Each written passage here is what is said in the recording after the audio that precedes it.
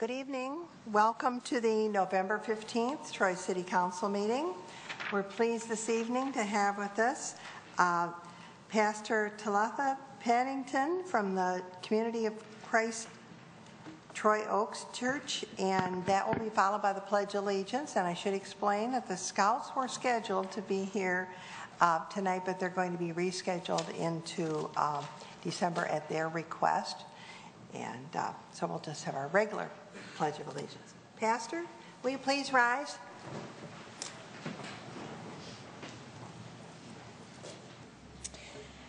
Gracious God, we come to you tonight full of gratitude that we live in a country where we have the freedom to gather, that in our gathering together we can express our concerns, we can express our comments, we can debate, deliberate, and come to decisions without fear of reprisals from others. We are so mindful of your goodness to us.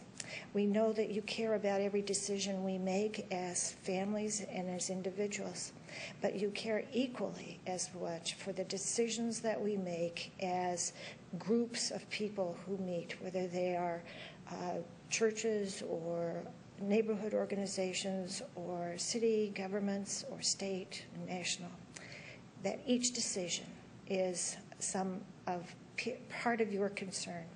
And so tonight we come asking for your blessing on those who meet here in this chamber, that those who speak, whether they are part of the elected and selected officials or whether they are citizens expressing their opinions and concerns, that each person will feel valued and uh, feel that their uh, their words are important.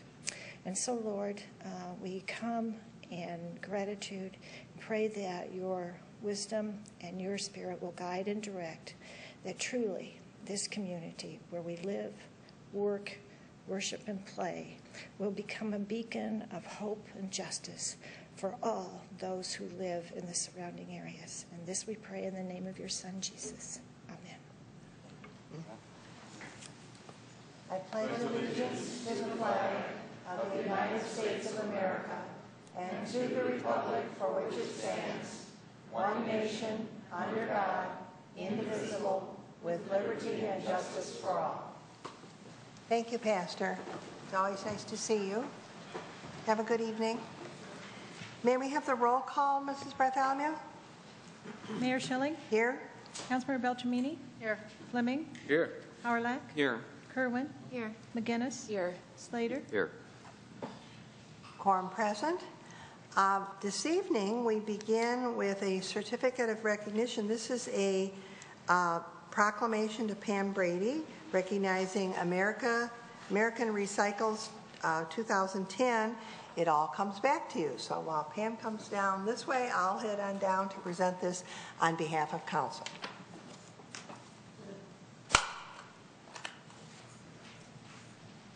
I still say I have this fear here that it's electric. If you stand on it, you're going to get shocked.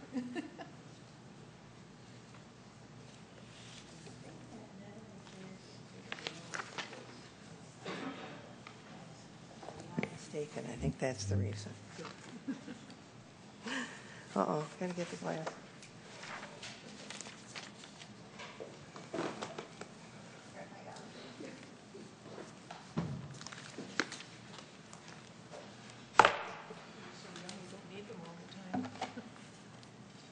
For the small print. Well, it's nice to see you, and it's been another year already. Yes. The years just fly by fast, don't they? Well, we keep recycling. That's right. That, that's right. Um, this proclamation for America Recycles uh, 2010 has quite a bit of information in it, which I think should be of interest to folks and encourage them, of course, to do even more recycling. Whereas the world has changed a lot in the past century, from individually wrapped packaged food to servings, uh, individually packaged food servings, to disposable diapers, more garbage is generated now than ever before. The average American discards 7.5 pounds of garbage every day. Our garbage, our solid waste stream, all goes to landfills where it's compacted and buried. And whereas to focus the nation's attention on the importance of recycling, businesses, industries, government agencies, nonprofit organizations, and individuals have joined together to celebrate America Recycles 2010 and are encouraging their employees, staff, customers, membership, and all citizens to pledge to buy more recycled content products starting today. And whereas participating in America Recycles 2010 is one way our citizens can help raise awareness about the need to reduce waste by reusing, recycling, and buying recycled products. And whereas the more we recycle, the less garbage winds up in our landfills and incineration plants. By reusing aluminum, paper, glass, plastics, and other materials, we can save production and energy costs and reduce by up to 75% the negative impacts that the extraction and processing of virgin materials has on the environment. Plastics made from precious and non renewable petroleum and aluminum, which is mined from bauxite, is especially important to recycle. And whereas recycling helps protect our resources, our environment, and our quality of life, the entire loop reduce, reuse, recycle is completed when we buy products made from recycled material. And whereas from July 2009 to June 2010, the City of Troy recycled 4,375 tons of glass, paperboard, cardboard, newspaper, metal, tin, and plastic, and 10,547 tons of compost. And whereas state and community leaders need to spread the word about the excellent programs they have established and the growth of markets for recyclable materials and the importance of buying recycled products.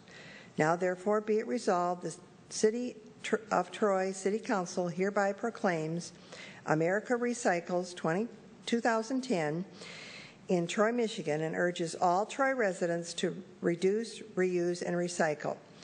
Be it further resolved that the America Recycles 2010 is celebrated year round to encourage people to recycle and buy products made from recycled materials. And the theme for America Recycles in 2010 is It All Comes Back to You. And this is presented this 15th day of November 2010, signed by myself and all members of council, and of course on behalf of council. Thank, Thank you. you very much. Would you like to say a few things, Pam? Okay, you want to stand Yeah. there? Okay. I can't put it better. You said it perfectly. Uh, all I want to do is remind you that this is not coming to me. It's coming to all of the residents uh, who live in Troy and who work in Troy. Uh, everybody who recycles, this is our proclamation that we will continue to do so. I'm just accepting it on your behalf. Thank you very much. Thank you.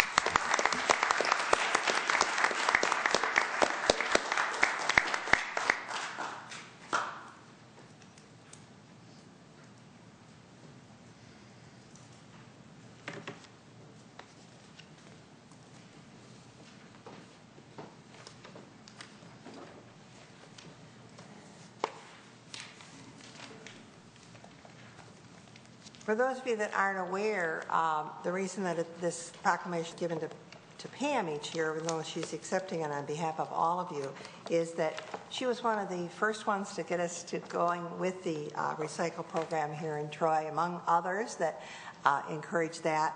And she has continued to be involved in that program uh, personally and putting in a lot of time and effort on uh, each and every year. So that, that is why um, Pam Brady is selected as the person to receive that. Um, That concludes the uh, certificates of of recognition, and there are no carryover items uh, tonight or public hearings. So we go to um, public comment, and I need to count here to see if we can stay at five minutes or if we'll need to go to three. So excuse me for just one moment.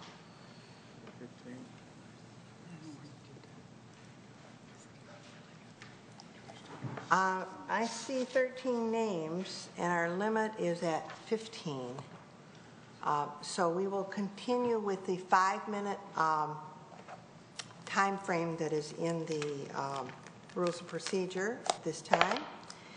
So uh, again, uh, I think it works pretty well to call the five people, and they can kind of work their way to the uh, aisle. That way, when it is their turn to speak, um, they can uh, proceed to the microphone. So I'll call the first five. Um, Janice Daniels, Audrey Zambrewski, uh, Tony Haddad, Ernest Smith, and uh, Tim Croner. If those people would come up in that order, please. Thank you. Mrs. Daniels, you're first. Thank you. Good evening, Mayor, Council, Management, staff. Um, This issue with the library and the and the taxing, the budget, it's so important. I have to keep coming back to this. Um, It seems, though, that whenever the issue of wages is brought up, the discussion always ends with the fact that there's a contract and we can't break it. And I understand that. So I have a plan. I have a plan that I want to offer for your consideration. It's called the Voluntary Pay Cuts Immediate Action Required Plan. This has nothing to do with personalities or persons. This is simply procedural. Mr. Szerlag, you're making $220,500 a year. You have two assistant city managers. Mr. Lamerato, you're making $221,000 a year. Mr. Miller, $182,500 a year. We have a city attorney, Lori Bluhm, who's making $193,863 dollars a year. And we have a gentleman named James Nash, who's the final financial services director. He makes $198,503 a year. Now, I look at the average salary of an attorney in Troy, and that salary is $68,000 a year. I looked at a help wanted ad that was posted on November 5th of 2010 for a chief financial officer in Farmington Hills. The job requires experience dealing with the full scope of financial administration, setting up policies and procedures to ensure compliance, managing banking relationships, developing and managing the budgets, financial forecasting, etc. The candidates have to have seven years' experience, a bachelor's degree in finance or accounting, an MBA, and a CPA is a strong preference. The salary being offered is between $100,000 and $125,000 a year. And the benefits that are listed is four weeks paid vacation. That's all. Now, looking at the city hierarchy that is beneath we the people, because I have to remind you that it is we the people who are at the top of the hierarchical chart of decision making in the city of Troy as well as in the entire United States. But now we have five people at the highest level of this city's government earning combined total compensation packages of a hundred, no, excuse me, of a million sixteen thousand five hundred dollars a year. Did you hear me? That's a million dollars that we're spending on five people. We probably could hire Donald Trump to run the city for that kind of money. And now you want money from me? And you want money from my tax-paying friends here in the city of Troy, and you can't find the money to keep our library open? I want a half a million dollars immediately cut from these five people's compensation packages voluntarily. And if they refuse, then they probably should be fired or they should resign, and we should fi- uh, find average people to run our city. They might do a better job. That's your start. Then there's 14 other top level compensation packages that need to be slashed immediately, and that's yet another $1 million of savings. So now we have $1.5 million to keep our library open. And I feel certain that you could find another million dollars if you look at our city government from a need to have basis rather than a nice to have basis that used to work in better times. One comment aside, I started my conversations with you many months ago saying that I think that the police department should be completely out of the budget, and I still hold true to my words for the most part. I actually think the chief of police should earn an extraordinary compensation package. His job involves the management of persons who risk their lives on a daily basis to keep the city of Troy safe. That deserves good compensation.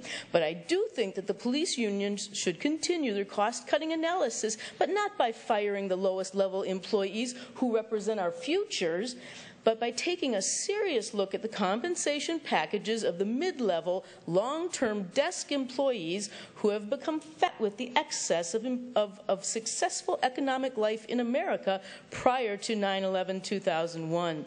With this type of focus, I think you could find the money that you need to save our library, and maybe the community could quit putting the blame on the friends of the library with no new taxes because that's misdirected at best. And in fact, it's very discouraging to hear the group called liars or, or, or uh, uh, uh, saying that, that we, we're doing this with malice. All we're trying to do is make an honest effort to cut this city's budget. And I think I showed you a couple of ways that you could start to do that. And I thank you for your time. Our next speaker is Audrey Zambruski.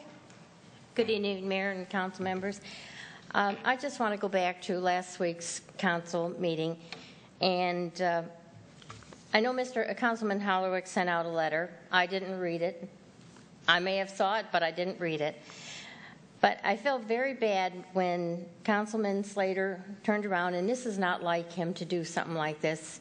Since I've known him a long time, for a long, quite a few years, is to raise that letter up and say, I want to talk with you man to man and the rudeness that was shown. And man to man does not mean bring it up in front of all the public and everything. Go and talk man to man. There's plenty of rooms in this building that anybody can go and talk. But I just thought it's, it was not like you, Mr. Slater, to say things like that. And I'd like to, on uh, N7, where it says additional information on streamlining boards and committees, I wish that they could have put a little bit more in there to let the committees in the, in, that are going to be streamlined who they are because some of them won't know because they don't come to the meetings and that and nobody will know how to tell them but if they're watching they at least would be able to know what it was okay thank you Our next speaker is uh, Tony Haddad. Good evening. Thank you so much for allowing me to speak in front of you. And uh, this is uh, has to do with the uh, last meeting about uh, the election, uh, where the chief uh, posing with Tim Burns picture and and have a code, you know, for to to describe him for possibly for help him in his campaign. Now, I am here tonight to respond to the city manager and the chief explanation last week regarding the political ad where Chief Mayer was posing with uh, uh, posing and endorsing Mr. Tim Burns. Once again, I am. One, calling for formal investigation under the city, uh, Troy City Charter, Chapter 4, Section 4.8, title Investigations. Our chief is a public servant, and I believe he has crossed the line. And the reason I say that because I'm Republican and he supported Democrat. He took somebody's side when he's supposed to serve all the people. I was, uh, I as my citizens, uh, as uh, I, as many citizens of Troy, has the following questions. At the time of the photo was taken with Commissioner Burns, was the chief on duty and being paid by the city? Question number two Is the chief allowed to display his official badge as seen in the photo on his belt when taking a photo that is obviously intended to be used in a political ad such as this one? Of course, you know, the ads were in the Troy uh, Somerset Gazette and Troy Times. And they were not out in the same time. I believe there's a few days different. You know, the chief could have seen the one and, and, and catch up with the other one before go, you know, uh, with the Somerset. Or call Tim, say, Tim, what's going on? You know, so. The, uh, the other point is, the other question is, is the chief, uh, is the chief allowed to wear a shirt that display what appears to be a city of Troy logo that's in the, photo. Uh, the other question, why is there an official Troy police vehicle in the background? Another question, can the chief use one of our official police vehicles for a political ad or to support a political campaign? Another question. I see that the, the police vehicle is not in the parking lot of the police station. Of course, I don't know if, if, uh, if it was on the grass of the city, which grass, I'm not sure. But I'm just wondering if it was on the city grass, why it's on the grass? The, the car shouldn't be parked on the grass. There's not a parking spot. In, in, in my many trips around the police station and city complex, I am not aware of any parking space that are on the lawn. The other question, how did the police vehicle get to that spot? Did the chief have it parked there for the photo by a city employee who was on duty? The other question, in the city charter, chapter 3, administrative service section 1.72, department rules, it states that the, chief, uh, the police chief may prescribe rules for the government of police officers in the city, of the city, because those rules are not available to the public. I request the city council conduct an investigation and refer to any rules, policies, regulations, order, memos, etc., by the, by, uh, by the chief of police that reference what is and is not allowed by police department employees. I also request that the chief be held to the same standard he held his officers and that if determined that he has violated any city policies or department's policies that he be disciplined accordingly. I also request that officers in the department be interviewed as to the treatment they have received as a result of their off-duty political position on recent campaign such that of the most recent millage vote. Now, I'm going to stop over here. Sure. I'm going to stop over here. Five minutes is up. Yeah, sure. We'll continue next meeting. Thank you so much for the opportunity. God bless you. We had a response on the item uh, last time. Uh, When we're finished, we'll ask for a response here. Yes, go ahead, sir. Yes. Thank you.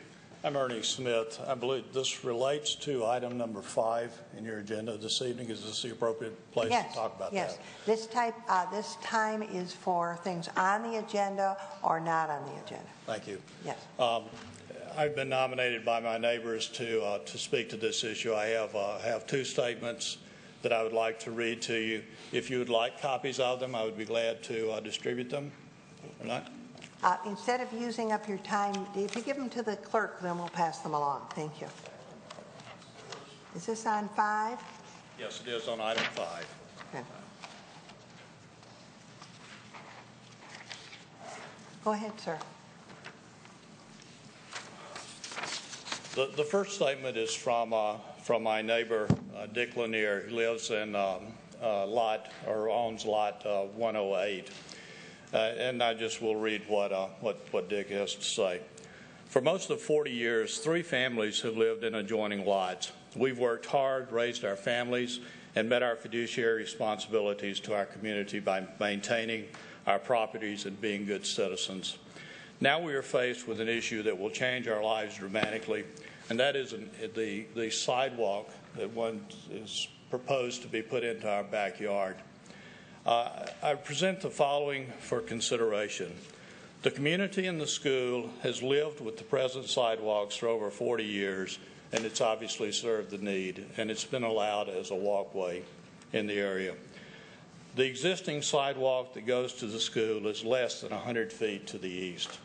That's a, uh, a public sidewalk within 100 feet. The Proposed sidewalk will be less than 100 feet from our living, dining, patio area, reducing privacy. Proposed sidewalk will isolate another neighbor in concrete from three sides and reduce patio privacy. Proposed sidewalk will empty into the third neighbor's yard and 15 feet from that patio. The proposed sidewalk will bring children across the street in the middle of the block, creating a safety issue. Cars are already dropping children off at this point and increasing blind spot safety issues. Regarding the easement, I suggest that after 40 years it is demonstrated there is no need. After 40 years, do the adjoining properties have rights to this property? Was a city official overheard stating, if we don't grab it now, we'll lose it? Do the adjoining properties that have established irrigation, etc., for years have some rights to that property? All three families are senior citizens. This sidewalk will dramatically reduce their property values. The estimate of $50,000 to my home alone. That's referring to Mr. Lanier's property. As a 40 year original owner, I can state that the reason this sidewalk was not installed was because it made no sense and my home would have been most difficult to sell. This is described as a portal sidewalk, and most surrounding cities are removing them because of cost and danger to adjoining properties. Troy is broke. Spending $20,000 for this sidewalk and 500 plus per year for maintenance makes no sense. These are difficult times for all of us. Those in our who are in or close to retirement look to the value in their homes and what they thought would be investments for the future. This would dra- dramatically impact retirement goals.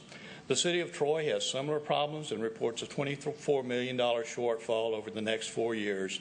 Neither of us can afford to duplicate a sidewalk that has served this neighborhood for 40 years. If there are resources for concrete, they are much better spent on subdivision streets that are in disrepair. After reviewing this matter, I hope you will agree with me the logical choice is for the City of Troy to vacate the right of way while retaining the easement. Again, that's the, the remarks from, uh, from Mr. Lanier. These are remarks from myself and my wife and my neighbor, uh, Kathy O'Brien. I think there, there are three points I would like you to consider. The first is there's no evidence this sidewalk will improve safety. Every Hill School principal for at least 25 years prior to Mrs. Brzezinski has come to the opposite conclusion. They've in fact asked parents not to have their children enter the school by way of the field and through the walkway. Then they've been instructed to use the sidewalk. That's the way all of our children went to Hill School. Secondly, on the safety issue, the unmarked crosswalk connecting the walkway north of Renshaw Drive will in fact be more dangerous if a concrete walkway is put in. If you look at this area, you've got a concrete um, walkway coming to Renshaw, then crossing Renshaw. Now, please imagine a child on a bicycle, a skateboard, rollerblades, coming down here, and I'm, I'm on this concrete way. I'm looking across in front of me. There's another piece of concrete that I'm headed toward, and it's unsafe. And if there were any way I could have a little more time, I would certainly appreciate it. But we would ask that you vacate the, the uh, lot. When you get to the item, if you would please look at the second set of comments that I've not had time to finish, I would certainly We appreciate will it. look at those, sir. Thank you. Thank you. Uh, Yes, next we have uh, Tim Croner, and before you start, Tim, I'm going to, don't start the clock for him yet. I'm going to call the next five people. Um, John, excuse me, John Wells, Richard Peters, James Savage, Linda Kaima, and Kelly Jones. Would those people come up next, please? Yes, Mr. Croner? Good evening, Mayor and Council. Uh, my name is Timothy Kerner, and uh, I last addressed you in April. Uh, probably most of you have forgotten. I wasn't here very long, uh, maybe 30 seconds. Um, I was reading a book on libraries. The book was entitled, This Book is Overdue. And uh, I don't know if any of you had a chance to read that. You have a busy schedule, I know, but uh, I found a quote from that book that I, I recited to you, and I'd like to, uh, to say it again. The quote was In times of economic crisis, a librarian is a terrible thing to waste. I read that because I thought it was pretty good advice. But unfortunately, in May, about a month later, uh, I don't think you followed that advice, or I should say, uh, four of you uh, at that point voted to stop funding our public library. The mayor and the three council people to the mayor's left, to our right. And so, as a result, the Troy Public Library will close soon. The Troy Public Library will close soon. My wife and I have spent the last six to eight months uh, talking to a lot of people, to most of you, and to a lot of other people as well. Uh, one of those was a high Oakland County executive. We had an interesting conversation with him one afternoon, and I'd like to give you a couple of quotes from what he said. I took uh, copious notes here during the conversation. He said, he said it would be, quote, literal suicide for Troy if the library is ended. And then he said, the city will never recover. The city will never recover. He went on to say something else that I found pretty interesting. Direct quote Core services should include the library for a city. Core services should include the library. Now, I find that interesting because I hear the city manager uh, sort of separating the uh, library from the core services. I've heard him say that several meetings. And uh, I certainly disagree with uh, the city manager on that. And so, as a result, the Troy Public Library will close soon. So I have a few questions here, a couple of questions I'd like you to uh, comment on in the council comment section, if that's okay. Um, I'd like to know when the library will actually close. We hear a lot about July 1, but uh, when will it actually close? Can you close a library overnight? I don't think so. Any more than you can stop a 1,000 foot freighter on the Great Lakes on a dime. You can't do it. Furthermore, how do you close a library? And who will do the closing? What about the library employees? Do you think they'll stick around for the bitter end? I suspect that most of them are looking for jobs. Who's going to close that library? The council? I don't think so. Well, anyway, I came up here a few months later from April because I was distressed at what I saw in my living room last uh, Monday night when I watched your meeting, especially the end of it. Mr. Fleming had introduced a resolution for you to start talking about the, the library and the budget. And uh, it was shot down by the same four people here. And as I say, that distressed me because we don't have time. We don't have time to stall. We don't have time to wait for another group of people to uh, tell us what to do or what would be good. You need to work right away.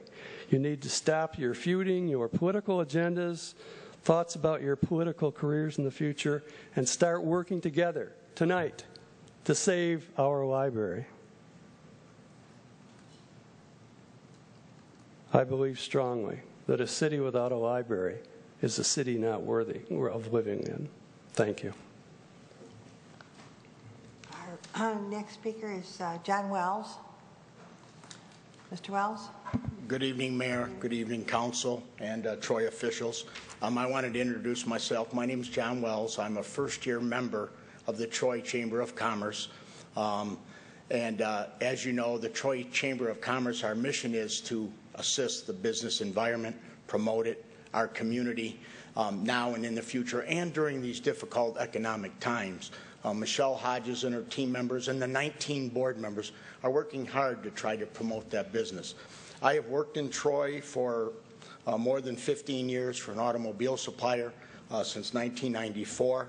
I've been a resident of Troy since 1995, and I do love our city.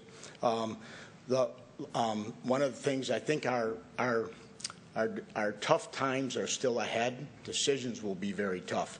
I attended the meeting last week, and it was very easy for me to see the divide in the city, not only um, the council, but the people. And I'm hoping that this can change um, because I, I think the mayor, the council, and even the city officials, along with the citizens during this, we must try to work together. It's easy to be, um, it's easy to hinder a process. It's not always easy to benefit it. I think all of us could say, how can I benefit this process, especially during these next couple years? And I just have one suggestion.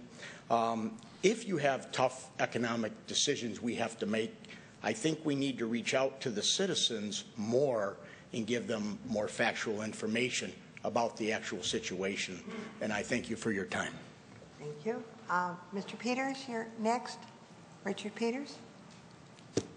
Good evening, Mayor, Council. Um, First, I want to thank the EMS unit and um, the 911 unit for saving my life for about the uh, past month where I suffered a couple heart attacks, and uh, kudos to them, and, you know, thank you very much. Um, I believe that all politics isn't local. I personally think that politics is national. Um, I think leadership on the federal level is always um, where the center of the storm usually lies. And for that matter, I'm here tonight because I feel that our president should not back down on uh, this economic package where he to uh, let the uh, wealthy get off the hook with this uh, tax business. When I look at the soldiers over in Iraq and Afghanistan, and you know, we see our police officers in the street in the middle of the night, or we see, uh, you know, uh, the 911, or I'm sorry, the uh, well, not only that, but uh, the firefighters going up at nine or whatever that building there, and uh, we didn't see many rich people in those places. There was some falling out, with all due respect, but not many going up. And I think that uh, you know taxes should be shared. You know, it's something that should be shared across society, and it should be a fair burden for everybody. So that's kind of my appeal for tonight, and I, I would hope that uh, the president and our country listen. God bless you all. Thank you. Hope you're feeling better, Mr. Peters. Uh, Mr. Savage, you next. Good evening, Mayor, Council. Um, I guess I want to talk a little bit about the uh, DDA, which I've commented on before, but also I think we seem to get, forget that why we are in this economic situation. It was not because of an act of God. It was because of bad management at all levels, be it the uh, Wall Street CEOs, be it the um, Secretary of the Treasury at the time. This has been going on for years. Two years before the economic downturn, the finance minister of Lebanon warned his bankers not to do any business with American uh, mortgage corporations. This was two years before the meltdown. And now all of a sudden it, it's like God brought this on us? No, it was brought from bad management. But we're still dealing with the people who brought us down. We're still looking to them for leadership. And it's not going to work. Okay, I've talked about the DDA before. If we were to add up all the money that the DDA has spent along Big Beaver and then try to figure out what we got for our money, I don't think we'd be getting very good value. And what brought this to mind was, oh, also on that, um, a lot of it, I, I, every time I go by the, uh, uh, that intersection, which is every time I go out, and I see these, what are they, eight foot wide walkways around that park. In all the time it's been open, I have not seen one pedestrian, not one. So, how did our citizens benefit from that? I used to come by that intersection and I would see the retention pond with the fountain. I can't see that anymore. So it didn't beautify anything, it hid what little beauty there was. So uh, to me, that was total waste of money. There are no pedestrians there. So anyhow, the, uh, I've driven along Big Beaver for over 30 years. I have never, ever seen one car parked on that stretch. Why would they? There's driveways, parking lots all along there. So I go down the other day, and what do I see? I say, no parking, standing, stopping signs.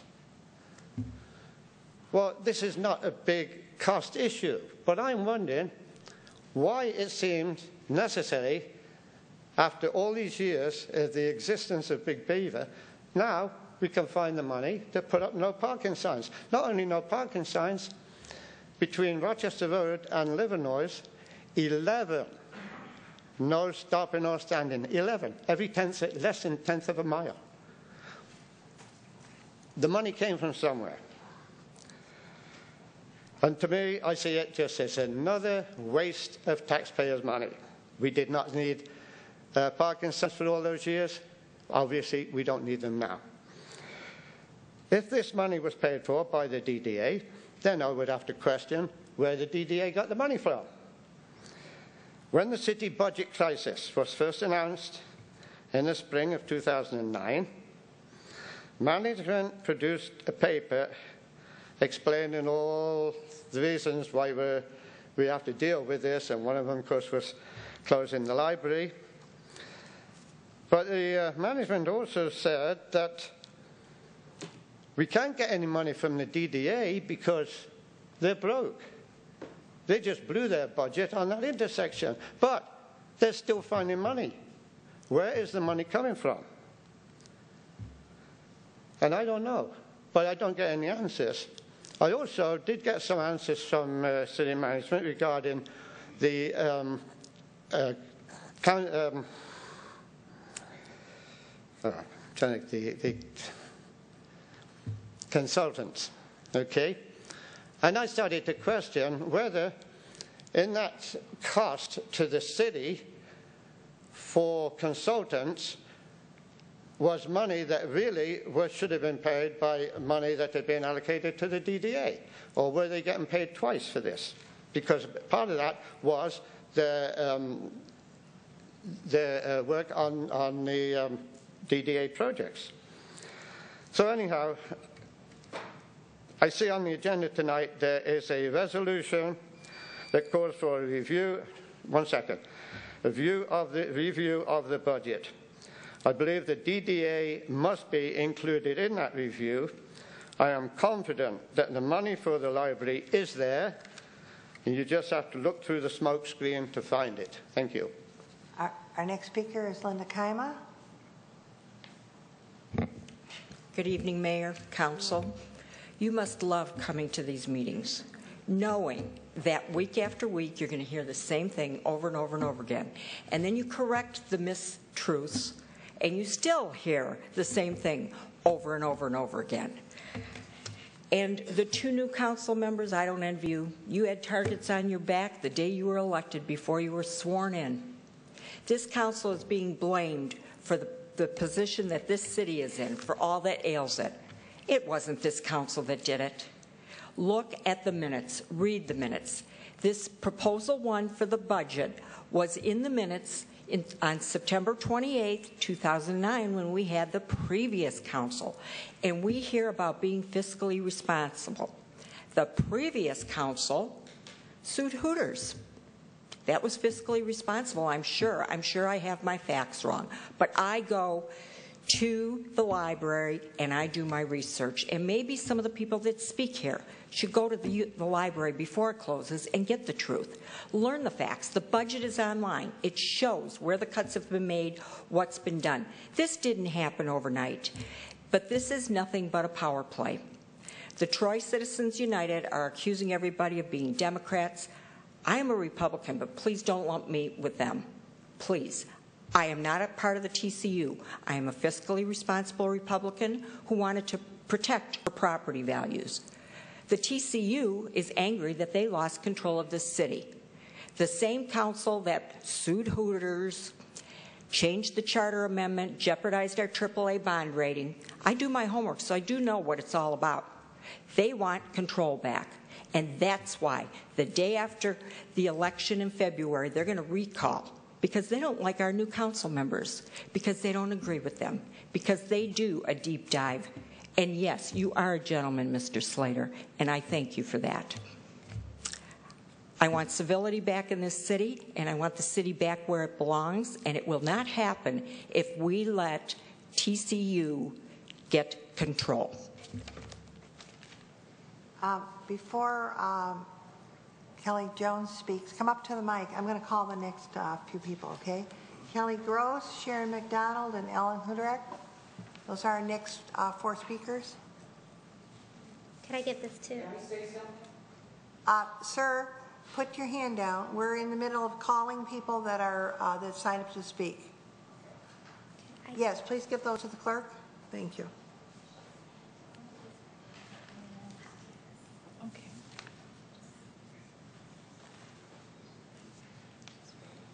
Hi, my name is Kelly Jones. I'm a resident of Troy, and I'm here to speak about item five as well, which is the sidewalk on city property off of Renshaw just north of Hill Elementary.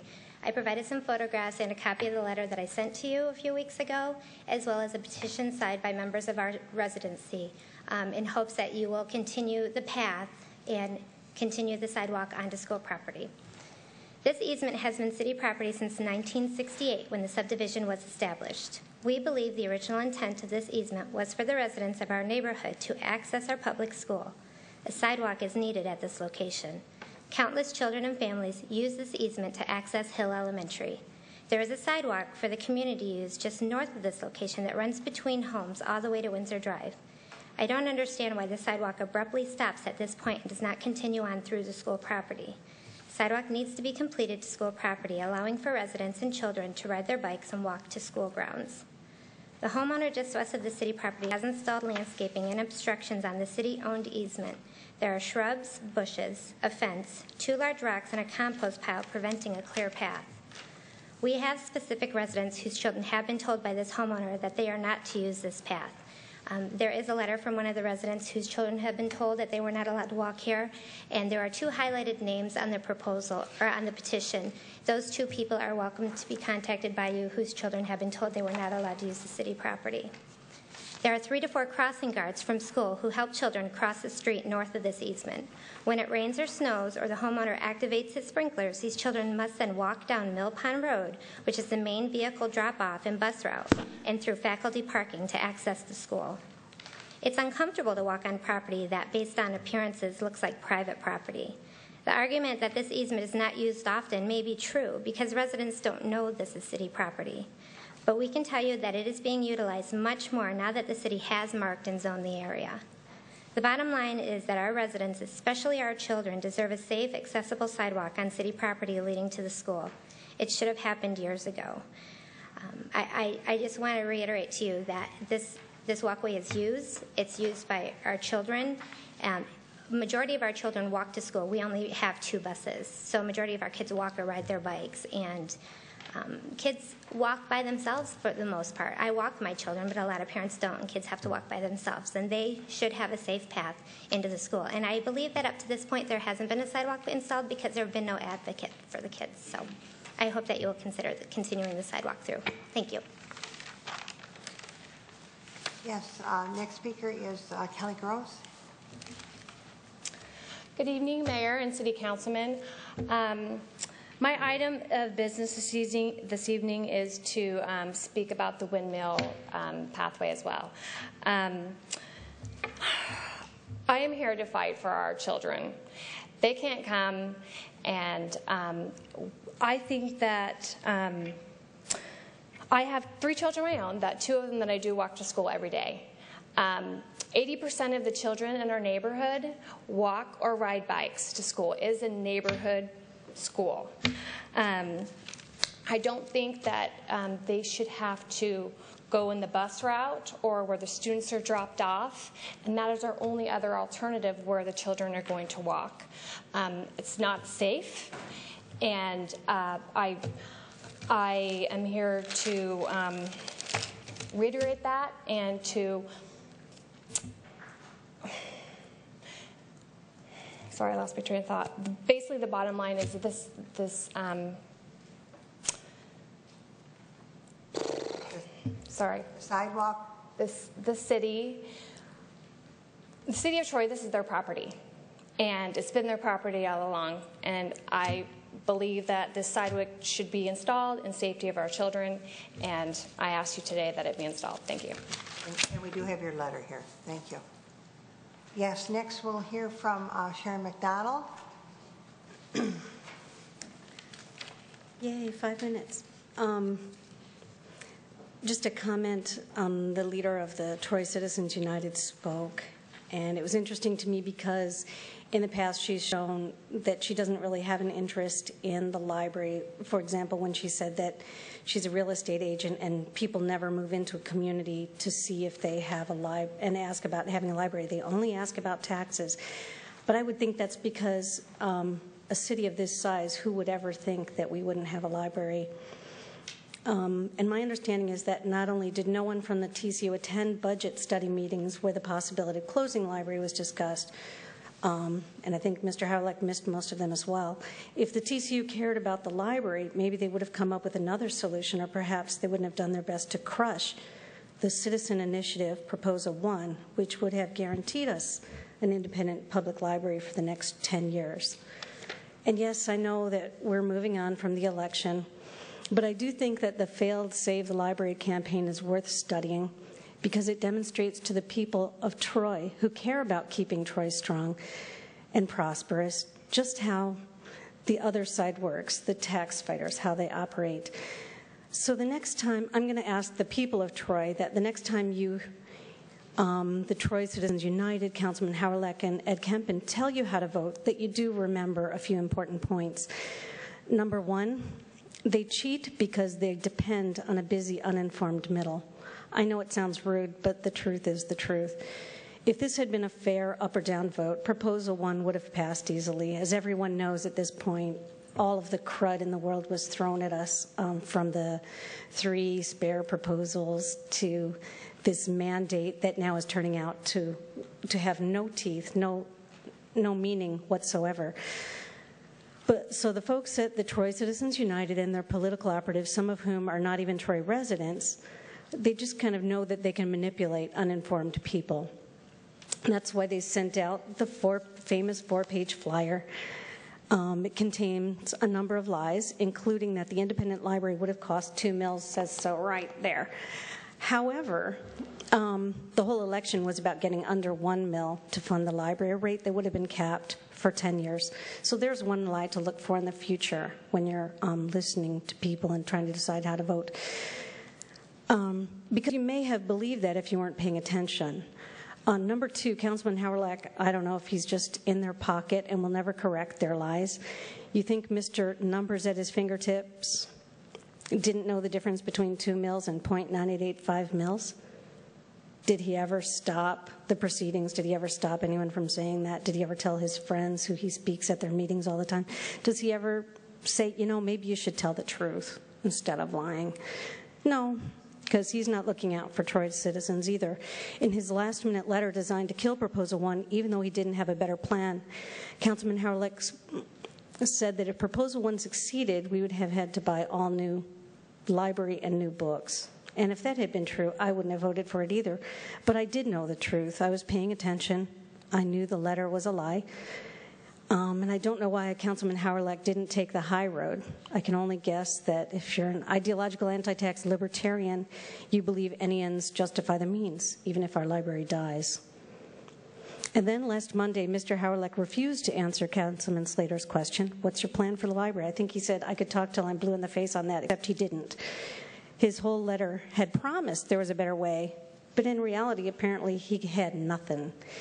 Still, the next night, he sashayed over to the Troy Tea Party, which had the same leadership as the TCU, and told them all about his thoughts on the issue. So I asked, What about us, Mr. Howrylak? What about your electorate? What about the citizens of Troy? Don't you answer to us before them? Just figured. Someone told me that he knew two people who sobbed as they voted no on Proposal 1, and I'll tell you why. It's because they knew in their conscience that Proposal 1 was the right answer. They knew we need a library, but how could they ignore the barrage of lies sent out by these people? They wanted us to blame City Council for the fact that city revenues are down sharply, even though it's due to simple recession economics. And if they can pin it on this City Council, they can fill a council with their people come next November. Because when they talk, that's always the second sentence. This City Council is good up. Next year, we'll put all our own people in there. And I think that's another thing you were advising them on how to do last week at the Tea Party meeting. I am not, uh, in spite of how I sound, I am not anti TCU or anti Councilman Howrylak. I'm simply pro truth, and the people of Troy need to learn to pay attention. Get informed, learn the facts, side with the truth, before these people completely destroy this city. Google, keep Troy strong. Thank you. Uh, Alan Hudak is next.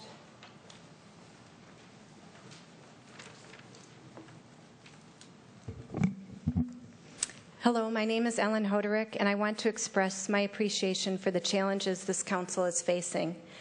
Those of you in a voting majority who have been held back by recent changes in the charter and the ideological bent of some members of this body must be feeling particularly frustrated.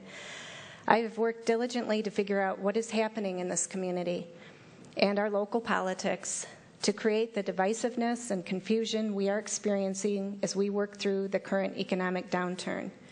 Why Troy? Why aren't other cities going through this? Why, in every other pocket of the community, do we work together, band together, but when it comes to the city budget and city council, we fail?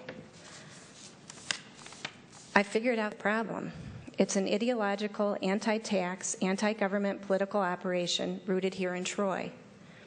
Started as a group that was striving to be sure money is not misspent or wasted, and I can fully appreciate that. It has, as often happens with these types of efforts, become a pendulum that has swung way too far in one direction and is completely out of touch with our current reality. The damage being done to the city's reputation as a result of this emotionally packed, very zealous contingent is huge. They are so emotionally driven at this point, it seems to be irrelevant to them that the revenue drop in the city requires more than a numbers focused, left brained, ideological driven approach. It is driven by Troy Citizens United. They do not hesitate to create confusion, provoke anger, and mislead voters with concocted and outrageous potential tax hike percentages. And voters who are so quick to vote on sound bites fall prey to this. Many don't even seem to realize their taxes have gone down. Councilman Slater, you did the right thing asking Martin for the plan last week at the council meeting. We as a community need to step back, stand up, and really start questioning what we're seeing from this contingent. Because, to use one of their phrases, don't you just hate it when a group can sway the vote with misleading sound bites and shocking percentages? Councilman Howrylak, I'm sorry, but I think it's shameful that you would actively work to take down the citizen driven initiative, a solid proposal, a proposal with precedent in many communities around us. Proposal one, and then turn around and say it's up to city staff to come up with the solution. I guess staff needs to find that pile of money that must be lurking somewhere. We'll, we have to keep looking, staff. You just have to keep looking. Your letter and Ed Kempen's petition implied you had a plan. Your sputtering response to Councilman Slater last week when he asked for it sounded like a career politician run amok. All I know is this city's very infrastructure is teetering on the brink of collapse. This is not funny. Our property values, our children are watching and are very concerned why this proposal one had to go down, why this contingent fought it like that, seems to be a political game. And you know what? I think a lot of us are onto it, and we've about had it. Please, please figure out a way. If we need another citizens' initiative, let's do it. Let's protect what we have. It's not representative of our community, and I'm sick. I'm actually sick at what has happened. Thank you. Uh, the gentleman on the aisle that had his hand up, with, uh, would you like to come forward? I, you should have signed up out there, but that's okay. Come forward. And yeah. would you would you remove your hat? Yes, Thank you. Yes, give us your name. Uh, my name is Brad Kelman. Yes. And I'm a resident of Troy, Michigan. I've been living here for 20 years. I live at Somerset Park Apartments. And I heard about the situation with the library. Um, if you want to keep it open between now and June, two choices. Either uh, up the property tax, or what you're going to have to do is come up with the money because if you don't, people are going to lose jobs. And we'll be without a community, we'll be without a library. I go on my days off. It's a nice place to go. People like it. And they don't want to go to other libraries like Birmingham, Royal Oak, or uh, Clawson. They would rather prefer Troy because they're residents and they don't want to see it go down. That's all. Thank you, sir. Okay. Uh, That concludes those that signed up to speak under public comment. And uh, next we go to response or reply to public comment. Uh, And council members, did you uh, wish to ask um, staff to respond to certain things? Or did council members want to, uh, there was quite a line. Uh, Council, uh, Mayor Pro Tem Kerwin. Thank you, Madam Mayor. I know that um, last week uh, the chief clarified some information, but it came up again this week uh, from someone who actually attended last week. And I know that um, a sitting county commissioner used a photo of the chief without permission. The chief had not endorsed this sitting commissioner. Uh, when the sitting Commissioner was informed by the chief uh, that his picture was used without permission and that he had not been endorsed. I believe that that was cleared up.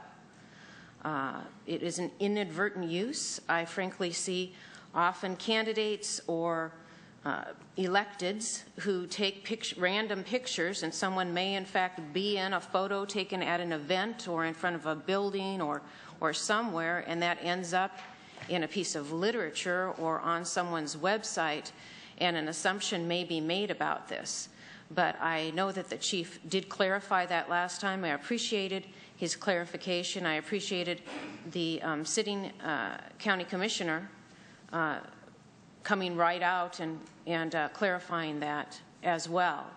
Uh, but I know that that was inadvertent. Um, it's unfortunate, but I certainly would not be inclined to do a further investigation. We don't have the time or, or the inclination on something which was clearly explained a week ago. Um, I have a question regarding the um, bringing up of sign placement on Big Beaver Road. Big Beaver is a county road. Uh, did, was there a problem with parking on Big Beaver, and did the county place the signs or did the city place the signs? I don't know the answers. I'll defer to uh, Mr. Miller for that response. Mr. Miller? Unfortunately, Madam Mayor, I'm not sure which signs was being referred to. I'll have, we'll have to seek clarification and research. All right. Thank you. I, I appreciate that. But Big Beaver is a county road. Yes, Big Beaver is a county road, and that's why I inquired. Did the county place those? Perhaps there, there was some problem and they felt that it needed to be signed. I don't know the answer, so we'll find out the answer. Was there something else that was asked in uh, or mentioned in um, public comment that council wants to address? We'll get to the item about the sidewalk, uh, Hill School, uh, as a regular council I- item. Mrs. Bluhm? Uh, Yes, Mayor, thank you. I just want to correct, correct an incorrect statement. Um, They referred to my salary.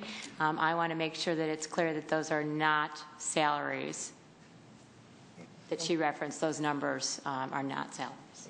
Thank you. Uh, We've had that item mentioned several times. It's been corrected several times, but again, uh, people still continue. Anything else, council? Mayor, oh, I- Councilman Howard I'll defer to Councilwoman Beltramini. Councilman Beltrame?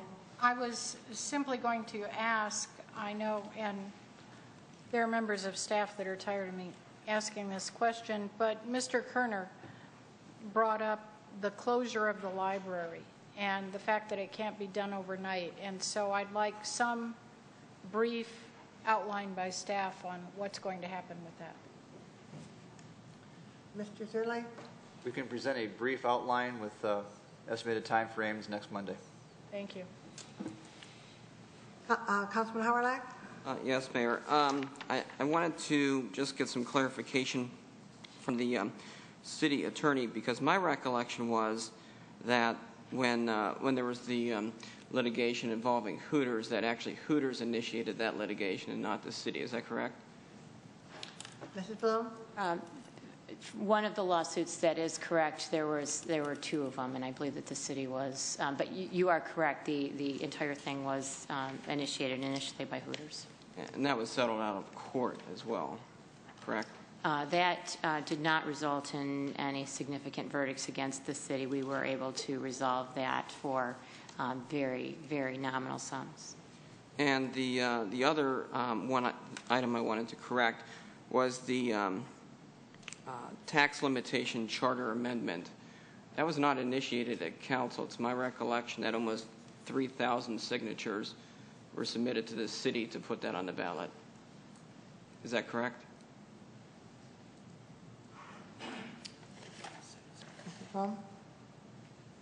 I don't recall how many signatures, um, perhaps Ms. Bartholomew can uh, add on to that. I know that um, it was discussed, that was a couple of years ago.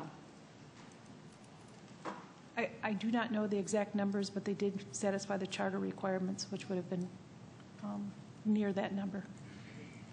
Uh, My recollection was that it was uh, initially uh, brought up at the council table, but did not receive the uh, supermajority uh, support that uh, was required. Therefore, uh, the folks that wanted to bring that forward went with the um, petitions.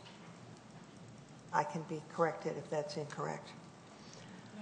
Uh, Mayor Pro Tem Kerwin? Just in response to that, I do remember the first time I saw the petitions was immediately after the League of Women Voters Candidates Night, where many of us actually sat and walked into the hall, and, and uh, when uh, Councilmember Eisenbacher, who was on that panel, and of course Councilmember Howrylak uh, were in the hall with the table, and there were the petitions at that time. Um, That's when I remember them coming out. Anything else that needs to be clarified under uh, public comment? Seeing none, then we'll continue on with the uh, agenda. Uh, First uh, item is a postponed item that's before us. Mayor, Yes, uh, Councilman Fleming? on H1, before I move a resolution here, first of all, uh, H1, yeah. Before I do anything, I would just want to thank the city manager for, for working and getting the earliest date possible for the ICMA report from the consultants. And the, the earliest date that I've seen now is January the 17th, that I understand uh, ICMA will have their report, and we were basically waiting on that date so that we could schedule a study session.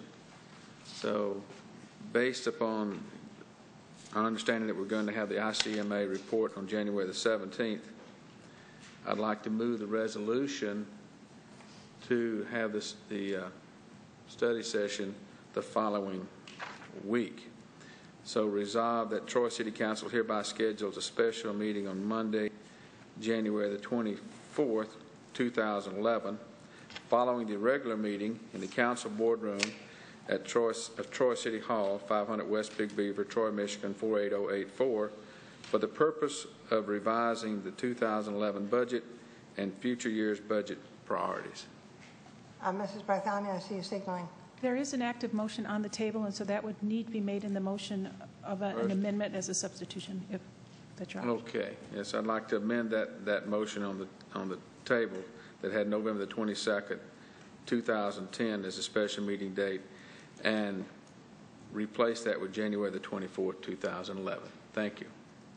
Is that a regular scheduled uh, council meeting, the 24th? So you're indicating that you would like that to be after the regular meeting? Okay. Uh, Support. Moved by Councilman Fleming, seconded by Councilwoman Beltramini uh, for the uh, amended uh, substitution motion. Mr. Szerlag? Are you also going to call a special meeting for January 17th? Uh, Yes, I- but we'd have to do that in a separate um, motion here. Uh, Now that we know the dates, that was one of the things I thought we were going to bring up tonight. Madam Mayor? Yes, um, Mayor Pro Tem Kerwin? And I'd offer an amendment um, in the last line where it says for the purpose of, I would replace revising with reviewing, the- for the purpose of reviewing the 2011 budget and future years' budget priorities. Do we have a second to the um, amendment, to the amendment? To reviewing? I'll second it to get it on the table. Uh, Discussion of the um, Second Amendment, the changing of revising to reviewing.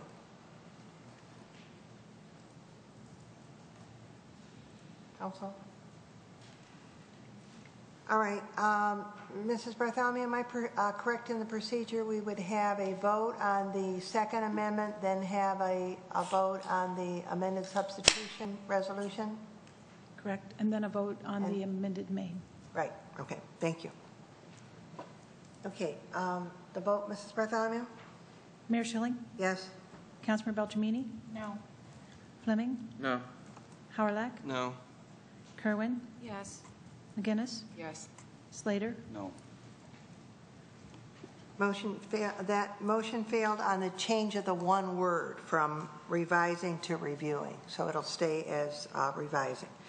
The uh, motion then on the uh, substitute motion, changing the date in the resolution to uh, January 24th. Mrs. Bartholomew, the vote? Councilmember Beltramini? Yes. Fleming? Yes. Howrylak? Yes. Kerwin? Yes. McGinnis? Yes. Slater? Yes. Mayor Schilling? Yes. Motion passes. And then on the, uh, the last vote, confirming the vote? Councilmember Fleming? Yes. Howrylak? Yes. Kerwin? Yes. McGinnis? Yes. Slater? Yes. Mayor Schilling? Yes. Councilmember Beltramini? Yes. Motion passes. Um, Mrs. Bartholomew, can we make the uh, substitute, uh, uh, change the rules of procedure to have a resolution now to set a special meeting for January 17th at this point, or do we need to wait till later in the agenda? Whenever you'd like to do it. I move to uh, suspend the rules so that we may uh, have a resolution to set a uh, special meeting for the 17th of January for reviewing the uh, ICMA report. Support. Moved by the chair, seconded by Councilman Fleming, that we suspend the rules. Discussion? The vote, Mrs. Bartholomew? Councilmember Howrylak? Yes. Okay. Kerwin? Yes. McGinnis? Yes. Slater? Yes. Mayor Schilling? Yes. Councilmember Beltramini? Yes. Fleming? Yes. Motion passes. Um, I move that we schedule a special meeting for January 17th to review the uh, information provided by the ICMA report. 6 p.m. Pardon? At 6 p.m. Before the meeting, um, There's no There's no meeting. there is no meeting, Yeah. there is no scheduled meeting that day? Martin Luther King. Okay. Uh, 6 PM? Well, I don't know why we're not just having it at the regular time. Why do we have to have it early? Your, your choice. You call. We get done earlier. Yeah. Let's do it. All right. Okay, 6 PM for the 17th of January. Uh, Support. Do it, moved by the chair, seconded by Councilman Fleming, that we, uh, the Troy City Council schedules a special meeting for Monday, January 17th at 6 PM for uh, review of the ICM report. Discussion? The vote, Mrs. Bartholomew? Uh, Mrs. Bartholomew? I also need a meeting location. In uh, council chambers. Here? No. In the board. Oh, I'm sorry. In the boardroom, yes, Thank you. in the boardroom. My fault. The vote, Mrs. Bartholomew? May I ask who the second was first, please? I was uh, Councilman Fleming. Councilmember Kerwin? Yes. McGinnis? Yes. Slater? Yes.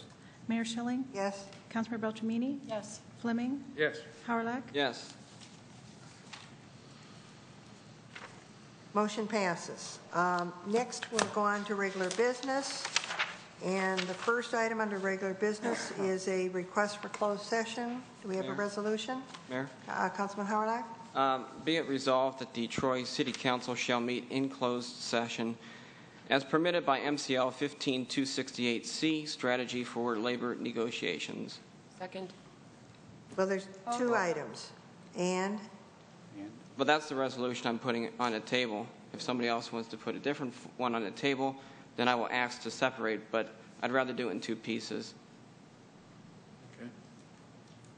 But your intent is that we'll have a second one, that someone could bring that forward, correct? That's not my intent. My intent is to move forward with 15268C. Okay. Moved by Councilman Howrylak. Do we have a second? I supported it. We can do it separately. All right. I'll support it. Okay, moved by Councilman Howrylak, seconded by Councilman McGinnis, that we uh, meet in closed session as permitted by Section MCL 15268C for strategy for labor negotiations. Discussion on the motion?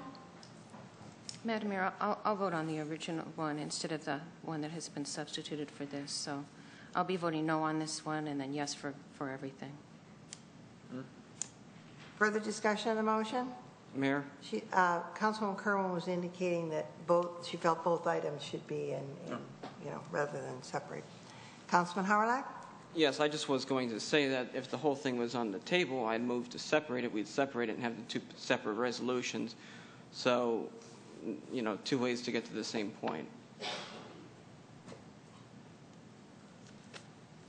Further discussion? Vote, Mrs. Bartholomew? Councilmember McGinnis? Yes. Slater? No. Mayor Schilling? No. Councilmember Beltramini? Yes. Fleming? Yes. Howrylak? Yes. Kerwin? No. Motion passes. Um, I move that we meet, uh, council shall meet in closed session as permitted, uh, at MCL 15268H, MCL 15243, attorney-client privilege. Support. Moved by the chair, seconded by Councilman Slater, that we approve the resolution. Discussion? Mayor? Uh, Councilman Howrylak? Yes, I, I just wanted to make sure that, uh, from the city attorney, that um, when we do discuss the item in closed session, that um, it's very narrow, our conversation, because um, I, I have concern, I, I don't have a concern at all about the subject matter being discussed. I think council needs to do that. However, my concern is that we're doing it in closed session. And so I, I did a little research and wanted to make sure that when we when we talk, when we use this as a reason to go into closed session, that this, the subject matter of the closed session discussion must be a written oral. I mean, must be a written legal opinion and not oral. It must be strictly legal and not public policy or other tangential matters, and it must only discuss what could legally occur because the point at which we discuss what should occur should be at, a, at an open session. And that is, um, I just want to make sure that the discussion is limited in that matter. Uh, Mrs. Bluhm, I'm sure that was the intent of the request. Mayor, absolutely. I would not have brought it to you, but, uh, but for the fact that it is absolutely in compliance with the Open Meetings Act. Certainly, City Council is well aware of the limitations. Certainly, Council is well aware that there are sometimes when it is appropriate to meet in closed session. I believe that this is one of those times, and certainly Council is aware of the limitations, and I am confident that you will comply with them as you have on other occasions, as you always have, actually. Thank you. Further discussion of the motion? The vote, Mrs. Bartholomew? Councilmember Slater? Yes. Mayor Schilling? Yes. Councilmember Beltramini? Yes. Fleming? Yes. Howrylak? No. Kerwin? Yes. McGinnis? Yes. Motion passes. Uh, Next is the um, Museum Operations Grant uh, FY uh, 2010-11 Budget Amendment. Madam Mayor. Uh, Mayor Pro Tem Kerwin? Resolved that Troy City Council hereby accepts the Kresge Foundation's Detroit Arts Support Grant in the amount of $40,000 awarded to the Troy Museum and Historic Village. And be it further resolved that Troy City Council hereby allocates the first payment of $20,000 for the period of August 1, 2010 through July 31, 2011 to museum operations to restore services eliminated through recent budget cuts. Second. Moved by Mayor Pro Tem Kerwin, seconded by Councilman Howrylak, that we approve the resolution as printed and read. Discussion? Madam Mayor. Uh, Council, uh, Mayor Pro Tem Kerwin? just really think it's important that we recognize uh, Lorraine, Director Lorraine Campbell and um, her team of volunteers, really, who have worked so hard to um, keep the heritage that has been um, the great gift to Troy, uh, recognizing the legacy and continuing to do so much to teach uh, not only young people uh, from the region and our own schools, but also to keep history alive and honored in our community. This uh, came after a great deal of, of work. I know that uh, the director has uh, written many a grant, and uh, I'm pleased to see that Kresge Foundation's Detroit Arts Support uh, has recognized the important work that Lorraine Campbell and her team continue to do on our behalf. I also was pleased to see, I received the uh, email from the Kresge Foundation uh, person who's in charge of the grants, uh, and was pleased to see that they were uh, awarding this because I know that they uh, are very generous to many other communities, and uh, sometimes on grants that have been requested to the Kresge Foundation from in our community, they have not passed them. I know that they receive a lot of requests. Uh, But I'm pleased that this, because this certainly is uh, well-deserving and certainly um, well-needed. Any further discussion? Vote, Mrs. Bartholomew? Mayor Schilling? Yes? Councilmember Beltramini? Yes. Fleming? Yes. Howrylak? Yes. Kerwin? Yes. McGinnis? Yes. Slater? Yes. Mayor? Uh, I- yes. I need to clarify a motion on the first closed session calling um, pursuant to 15.267 of the Open Meetings Act. It requires a two-thirds vote. That motion failed. The second one passed, but the first one did. The second one, though, was only for, um, no, the second one was only for attorney-client communication. Correct. Right. We would need a, we had two separate motions because that was the request that we have, have them uh, separated. So if someone would like to um, bring up the um, original one Mayor. again, yes. Councilman Slater? No, no. In order to do that, you would need to do a reconsideration. Right. Want to do a reconsideration? Madam Mayor, Yes, Councilman Beltrame? I would move that we reconsider the motion made by Councilman Howrylak, seconded by Councilwoman McGinnis, that we meet in closed session as permitted by MCL 15.268C to discuss strategy for labor negotiations. Support. Moved by Councilman Beltrame, seconded by Mayor Pro Tem Kerwin, that we reconsider the item as so stated. Discussion? I think that the reason that, uh, I know my reason for voting no was because I felt it should all be done in one vote, but certainly I'm in favor of uh, meeting for that reason. Hope the others are too. The vote, Mrs. Bartholomew, for reconsideration? Councilmember Beltramini? Yes. Fleming? Yes. Howrylak? Yes. Kerwin? Yes. McGinnis? Yes. Slater? Yes. Mayor Schilling? Yes. Now we're ready for a motion. We can have the original motion, we just need to have another vote, correct? Actually, the, the original motion is the standing motion. You need to vote on that All right. particular motion Okay. or amend it. You need to discuss it any further? Councilman Beltrame? Question, Madam Mayor, I move the reconsideration only for the first motion. Correct. Right. All right, so we have a past motion, one that we, one that did pass, to move into attorney-client privilege information. So if we move the first motion, then we voted on attorney-client privilege twice? No. No. The first motion was just the section that went up to labor negotiation, and there was a Okay, completely you said- separate motion. When you said the original motion, I thought you meant the one that was in the packet. That's why I was confused. Okay. I'm good now. So the vote is now on the vote that, on the original, the motion that was by Councilman Howrylak, seconded by uh, Councilwoman McGinnis. Right. Okay, The vote, Mrs. Bartholomew? Councilmember Fleming? Yes. Howrylak? Yes. Kerwin? Yes. McGinnis? Yes. Slater? Yes. Mayor Schilling? Yes. Councilmember Beltramini? Yes. Motion passes. Thank you for finding that correction about the two-thirds. Didn't even think of it earlier. Okay, next we go to the Windmill Point subdivision public walkway. I'm going to move Resolution A uh, because we need to have something on the floor to discuss. Support. Moved by the chair, seconded by um, Mayor Pro Tem Kerwin. The resolution that I moved was uh, resolved that the Troy City Council hereby authorizes the construction of a concrete sidewalk and split rail fence connecting Renshaw Drive and Hill Elementary School, which abuts lots 108, 109, and 110 of Windmill Point subdivision.